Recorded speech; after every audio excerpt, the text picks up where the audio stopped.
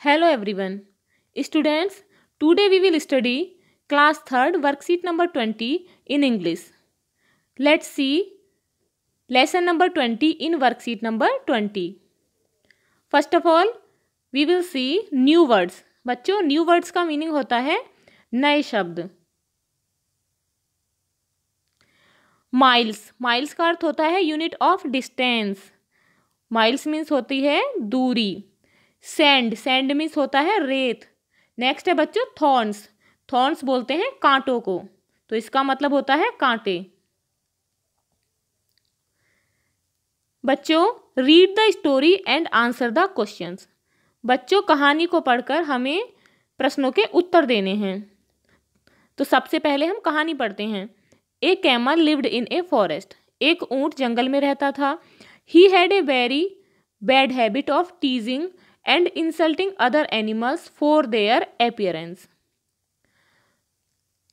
उसकी एक बुरी आदत थी, वह जानवरों को उनकी अपियरेंस उनकी बनावट के लिए उनका अपमान करता था और उन्हें सताता था। इंसल्टिंग होता है अपमान करना और टीजिंग कहते हैं सताने को। He would tease the elephant and से उसने हाथी को भी सताया और कहा ओ how fat and ugly you look तुम कितने मोटे और भद्दे दिखाई देते हो। God has given you two tails भगवान ने तुम्हें दो पूछ दी हैं। वन एट द बैक एक तो पीछे एंड वन इन फ्रंट और एक सामने। उसका कहने का मतलब था कि एक तो आपकी पूंछ है, और एक आपको जो सूंड दी है। To the rhinoceros he would comment उसने रिनोसर्स को कहा all animals have two horns on head कि सभी जानवरों के दो हॉर्न्स होते हैं उसके सर पर। But you have just one horn on your nose but लेकिन तुम्हारा तो केवल तुम्हारी नाक पर एक ही सींग है। He also teased the zebra उसने जेब्रा को भी सताया for the black lines on his body उसकी बॉडी पर काली लाइनों के लिए।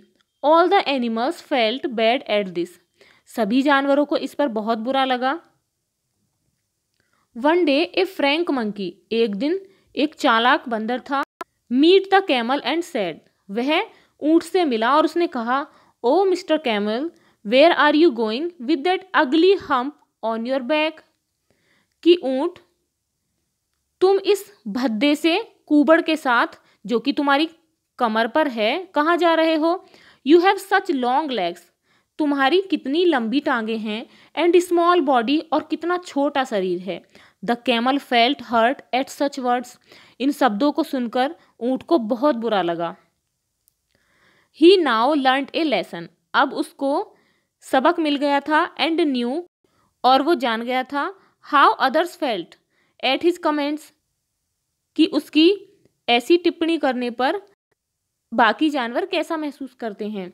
सो so, इसीलिए he gave up on that bad habit इसीलिए उसने अपनी सारी गंदी आदतों को छोड़ दिया and started praising others for their uniqueness और अब उसने दूसरे जानवरों की यूनिकनेस के लिए उनकी प्रशंसा करनी शुरू कर दी। जो यूनिकनेस का मतलब होता है अद्वितीय या अनूठा। तो उसने उनके अनूठेपन के लिए दूसरे जानवरों की प्रशंसा करनी शुरू कर दी। अब देखते हैं बच्चों इस पैसेज के क्वेश्चनों के आंसर तो बच्चों फ़र्स्ट क्वेश्चन है how did the camel tease the elephant ऊँट ने हाथी को कैसे सताया? कैमल टीज द एलिफेंट ऊँट ने हाथी को सताया? ओ यह कहकर कि ओ how fat and ugly you look तुम कितने भद्दे और मोटे हो। God has given you two tails भगवान ने तुम्हें दो पूछ दी हैं वन एट बैक एक पीछे और एक आगे।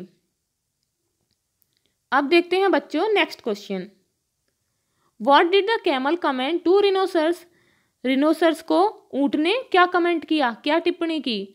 कैमल कमेंटेड टू रिनोसर्स ऊँट ने रिनोसर्स को टिप्पणी की all animals have two horns on head कि सभी जानवरों के सिर पर दो सींग होते हैं but you have just one horn on your nose लेकिन तुम्हारी तो नाक पर केवल एक ही सींग है। अब देखते हैं बच्चों next question who taught the camel a lesson किसने ऊँट को एक सबक सिखाया? A monkey taught a lesson to the camel तो किसने सिखाया था बच्चों? मंकी ने. तो मंकी ने ऊँट को सबक सिखाया. नेक्स्ट क्वेश्चन है बच्चों. Write any special quality that you have बच्चों, अपनी कोई भी विशेष गुण जो तुम्हारे अंदर है, वो आप लिखेंगे।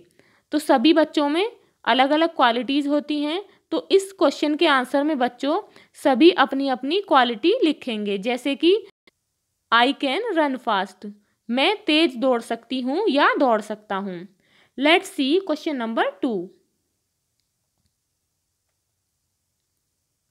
identify these animals first is I am the king of the jungle मैं जंगल का राजा हूँ तो जंगल का राजा कौन होता है? लायन शेर। I have the longest neck मेरी गर्दन सबसे लंबी होती है तो किसकी होती है बच्चों? जिराफ की। I have a long tusk मेरे लंबे दांत होते हैं तो किसके होते हैं बच्चों? एलिफेंट के, हाथी के। I carry my baby in my body pouch मैं अपने बच्चों को अपने साथ रखता हूँ तो कौन सा जानवर होता है?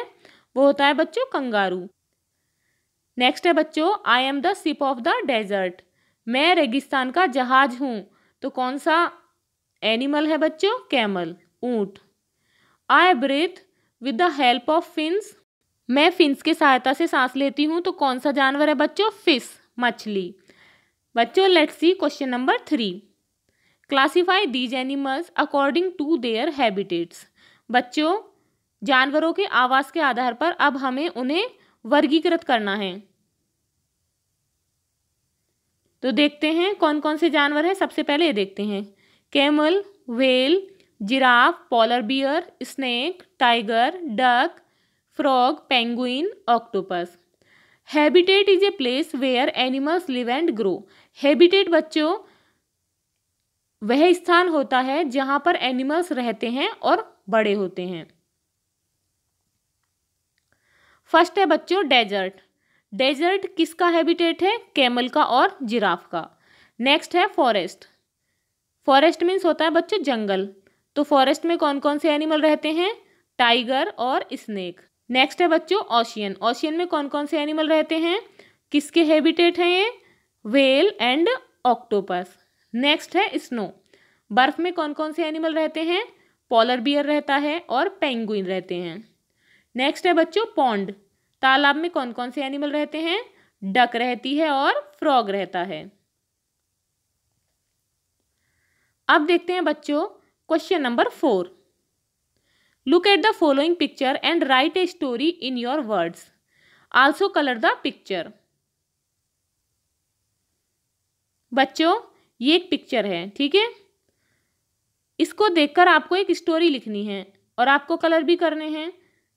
तो देखते हैं पहले story a boy is putting his puppy in tub for bath एक लड़का अपने पप्पी को नहाने के लिए टब में रख रहा है। He rubs shampoo and water on puppy's body वह पप्पी की शरीर पर शैम्पू लगाता है और पानी डालता है। आफ्टर बाथ और नहाने के बाद he put his puppy outside of tub वह अपने पप्पी को टब से बाहर निकाल लेता है।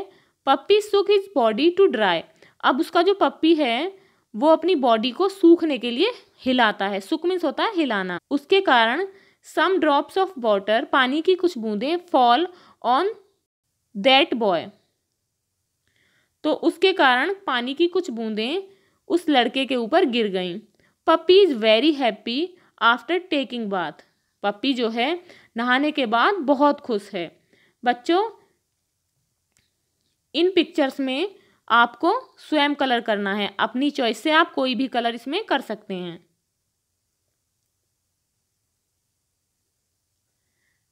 Students if you like this video please share and like and if you are new on this channel please subscribe the channel thank you